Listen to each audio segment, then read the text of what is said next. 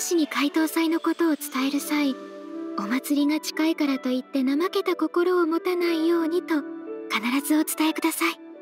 わかりましたカウン様。では先に失礼します。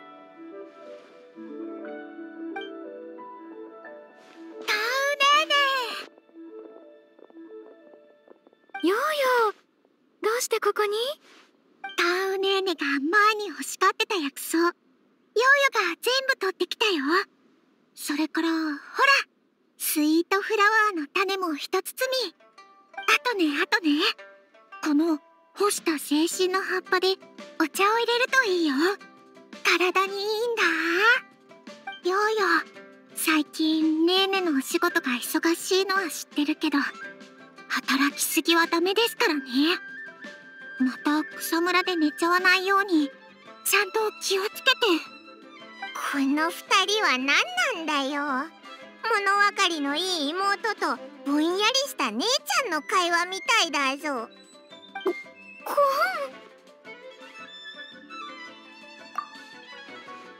ありがとうございます。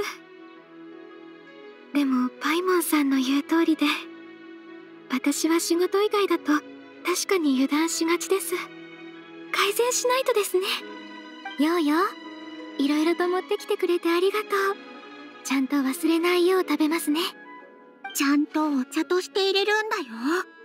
タウネーね。葉っぱをそのまま食べたりしないでね。ははい。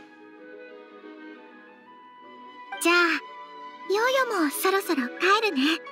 外に長くいすぎると弟ガーに心配をかけるから。ねーねたちもおじちゃんも安心して。全てはきっとうまくいくよ。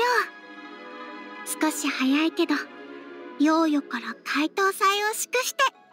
ありがとうヨーヨー嬢ちゃん。怪盗祭を祝して。